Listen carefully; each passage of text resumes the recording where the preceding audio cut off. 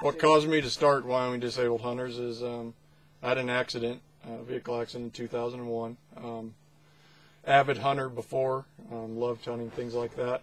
Um, and after my accident, and I had a male nurse approach me, and uh, we I was in ICU laying there, and um, this guy asked me what I like to used to do, or what I used to do, and so I told him I was a hunter and fisherman and things like that, and he told me he said, "Well, you better get used to tying um, fishing flies because that's all you're going to be able to do the rest of your life." And it really pissed me off. So what it did is it, but it inspired me at the same time in a way.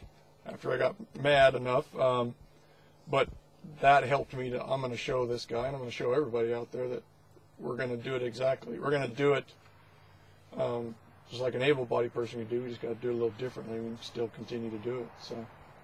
Then a few years down the road after my accident, um, a gentleman approached me um, wanting to kind of, he's done some hunts in this area for handicapped people, want us to form an organization around here. So we started just throwing some ideas around things like that. And then in 2008, uh, we just, a couple of us got together, made a makeshift board meeting and, and formed Wyoming Disabled Hunters, and it's kind of taken off from there. Um, the main goal was wanting to be able to get people that either were hunting before um, or had never hunted to give them an opportunity to get back into the field or to try something they've never done and, and to show them that disability doesn't limit them um, from doing the things they used to love or doing the things they love to do. So, and that's been one of the things we look, look forward to getting people set up with. So. Well, even though him and I just met last night, we've already kind of made plans in the next couple years to meet up and hunt out here together, then hunt back in uh, around Mich- Michigan, Upper Peninsula area, coyote hunting, do some bear hunting hopefully. And the deer hunting's not what it is here, so uh, I have what I have to offer. I mean, you, you meet people like this on occasions like this, and you kind of stay in touch. Uh, you make you make friends. You know, it's not like you're just doing this to, you know, do it. I guess you got to kind of have a purpose. Uh, you want to do it, um, meet people, and then, like you said, he's gonna, we try to go out to Michigan and do do some hog hunting or something like that. You know. And this is my first time as a companion hunter, as far as with Wyoming Disabled Hunters. Um, so it's a good experience. I, I'm really enjoying myself. It's a great time. Um, great hospitality. well, I tell you, these cowboys out here, them and their, their lift trucks, and people, guys in wheelchairs trying to get into them. I wheeled out this morning to get in this truck. You're joking, right?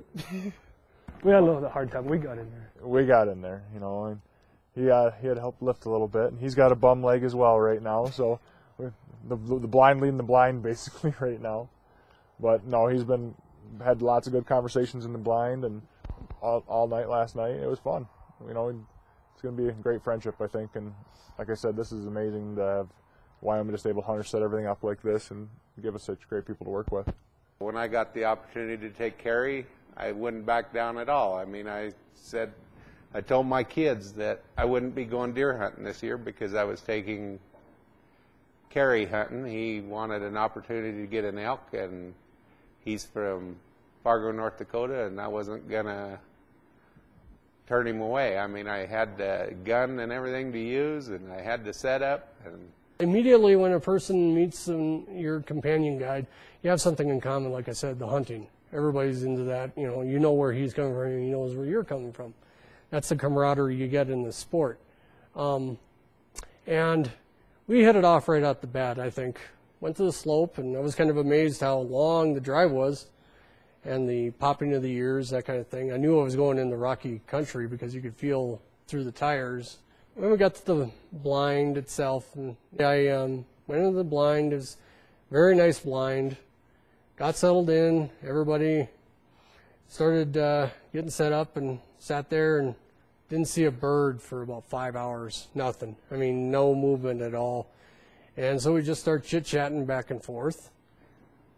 I was just telling them a story that the Indians call them wapiti because they're a very elusive animal.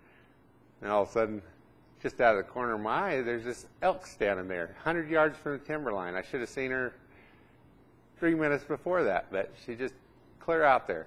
Then he um, he started shaking. I'm figuring I'm trying to figure out why he's shaking because he's grabbing at my shoulders, the gun, everything, and I'm going, what's going on? So I thought he was kidding to begin with, and then things got a little bit more serious, and I could figure it out. and um, so then we chose, with this elk about 20 yards away looking at us, uh, we trying to open this window without spooking it, and you can imagine what that's like. She just come running right up to the window. She's like 20 yards away, and I'm trying to open this window.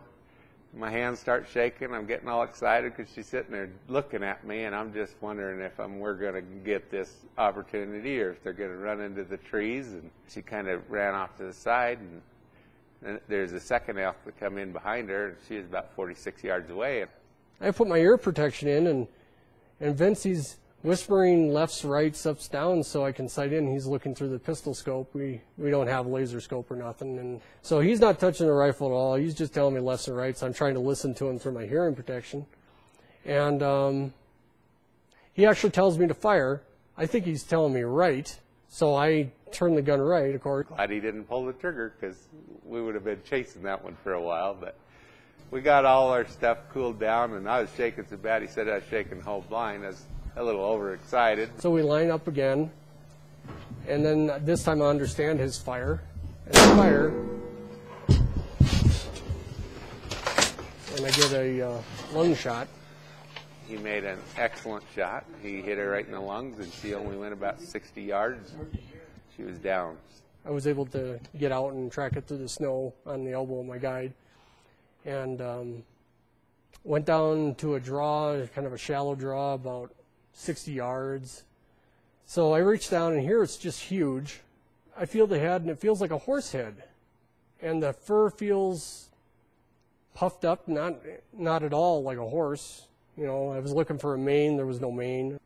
Whatever your disability is, and whether or not it's getting worse or better or whatever, um, as long as you take your time and you develop the technique and the technique works for you specifically, it doesn't have to work for everybody. There's not a universal technique with this stuff because wild game is unpredictable and and you have to accept that sometimes, hey, it ain't your disability. It's the animal, it's the weather, it's whatever, you know.